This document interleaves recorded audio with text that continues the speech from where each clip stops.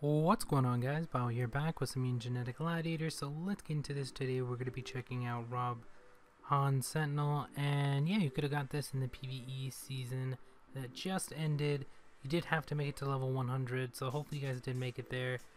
But uh, yeah, let's check it out, 5.56 speed, so it is considered a mid-tier speed mutant. We do have Interception as its first skill, and Extermination as its second, which is a trio attack as well.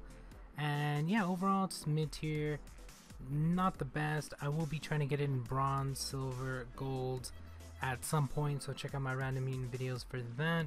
But uh, yeah, definitely let me know what you guys think of the mutant. If you guys do want to see it, please let me know. If you guys do have any other mutants you guys want to see and or platinums you guys want to see, please let me know and I will try to get to those. But uh, yeah, if you guys do have this mutant, let me know what mutants you actually use it with, if you do actually use it. But that's going to be about it for this one. Thank you guys for watching. Hope you enjoyed it. We'll talk to you guys later.